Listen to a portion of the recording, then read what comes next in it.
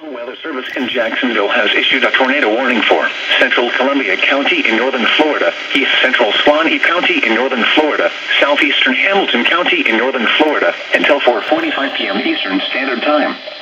At 4.09 p.m. Eastern Standard Time, a severe thunderstorm capable of producing a tornado was located near Columbia, Oregon, 7 miles southwest of Lake City, moving northeast at 40 miles per hour. Hazard, tornado and half dollar size hail. Source, radar indicated rotation.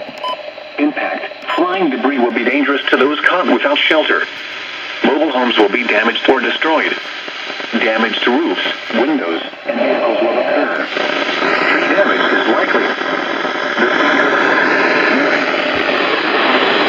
Winds 20 knots, 15 to 20 to 25 knots, towards daybreak.